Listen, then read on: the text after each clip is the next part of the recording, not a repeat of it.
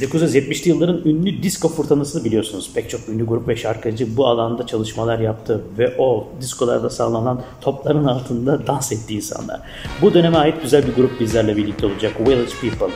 Aslına bakarsanız biraz marjinal bir tiplerdi kendileri. 1978 yılında YMCA adlı şarkıyla listelere girmişlerdi. Şimdi bu şarkıyla izleyelim onları. Young man, there's no need to feel down. I said young man, pick yourself up